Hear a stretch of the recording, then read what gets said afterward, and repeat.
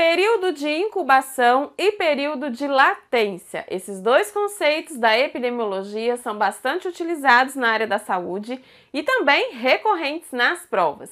E hoje eu vou te explicar de um jeito que você vai entender com facilidade. Então já pega o seu bloquinho de notas, porque eu trago dicas cruciais para sua aprovação. Neste vídeo nós vamos ver apenas um resumo mas, se você quiser estudar mais sobre estes e outros conceitos da epidemiologia, você pode ir para o nosso site e conferir os nossos materiais que são focados na sua aprovação. Em nosso site você encontra materiais de legislação do SUS, políticas de saúde, epidemiologia e conhecimentos específicos de enfermagem todos com a teoria completa e atualizada, dicas, além de diversas questões para você treinar sobre os temas. Então, acesse o nosso site e confira também os nossos materiais para você turbinar os seus estudos. Acesse agora enfrenteenfermagemcontinuada.com. O link do site está aqui na descrição do meu perfil e se você estiver assistindo esse vídeo pelo YouTube, o link também está aqui embaixo na descrição deste vídeo.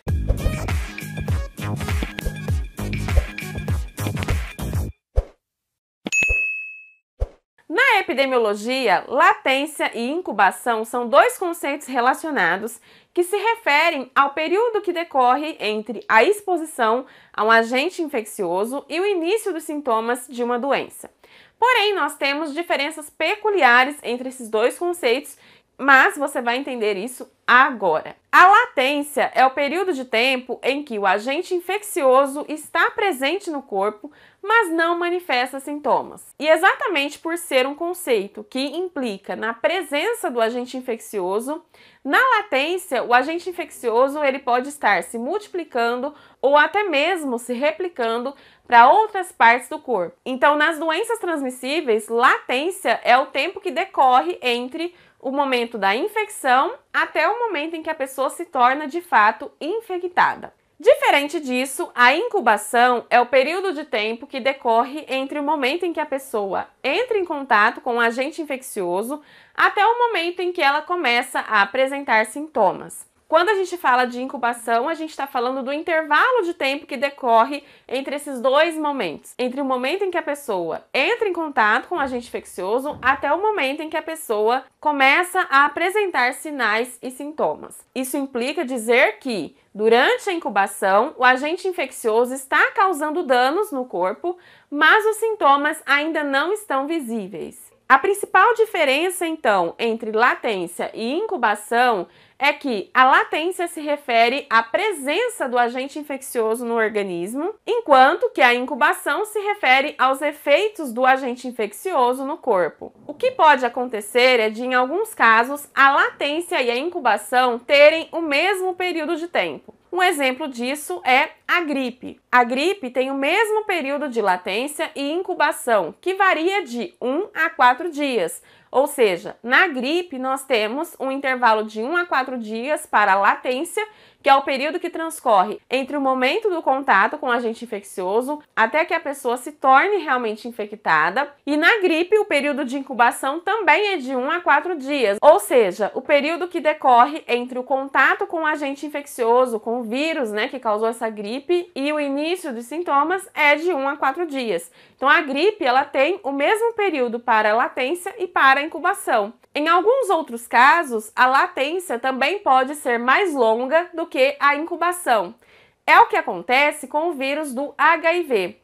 Para o vírus do HIV, o período de latência pode durar muitos anos. A pessoa pode ter tido contato com o vírus há muitos anos atrás e ainda não ter se tornado infectada, enquanto que o período de incubação do HIV é de cerca de duas a seis semanas, ou seja, entre duas a seis semanas a pessoa começa a apresentar os sintomas a partir do momento em que ela teve contato com um agente infeccioso. Então, nós podemos ter também essa situação em que a latência é mais longa do que a incubação. Por que, que é importante você saber qual é a diferença entre esses dois conceitos? Porque a latência e a incubação são dois fatores importantes quando a gente fala de doenças transmissíveis. Esses conceitos podem nos ajudar a prever o curso de uma doença e estabelecer medidas de controle. Eu poderia te trazer vários outros exemplos para facilitar o seu entendimento.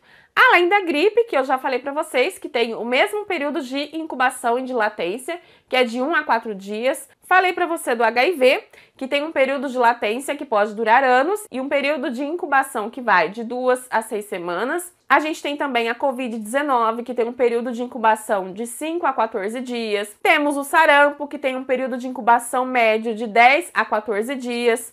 A rubéola, que tem um período de incubação de 14 a 21 dias. E daí você percebe a importância de saber em que momento que a pessoa vai começar, por exemplo, a apresentar sintomas após ela ter tido contato com agente infeccioso. A latência e a incubação são dados importantíssimos para a gente fazer essa previsão e conseguir estabelecer as medidas de prevenção e controle. É importante ressaltar que esses valores que eu trouxe para vocês de incubação e de latência são valores médios. A incubação e a latência pode variar de uma pessoa para outra e isso vai depender de vários outros fatores. Mas esses exemplos são importantes para que você entenda a relevância destes dois conceitos dentro da epidemiologia. Então agora você já sabe qual é a diferença entre latência e incubação. Como eu falei para você neste vídeo, eu trouxe apenas um resumo. Se você quiser estudar mais temas da epidemiologia e gabaritar qualquer questão, vai para o nosso site e confira os nossos materiais que são focados na sua aprovação.